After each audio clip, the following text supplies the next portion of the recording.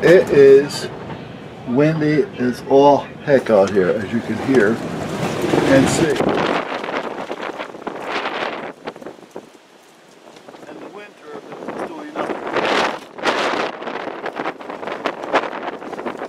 Just goes to show you, sometimes you're just in the wrong place. So I kind of got a feel for where the wind is coming. So uh, once we get some good weather, I'll be climbing up that tower, taking that wind turbine down.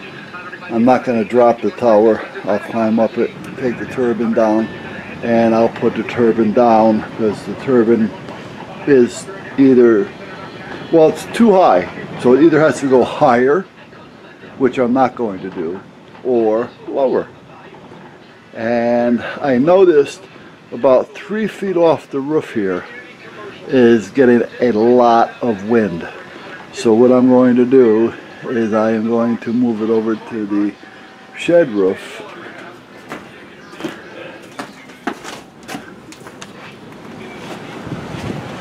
Put that about three feet up. That's all I need. And I will have all the wind I need.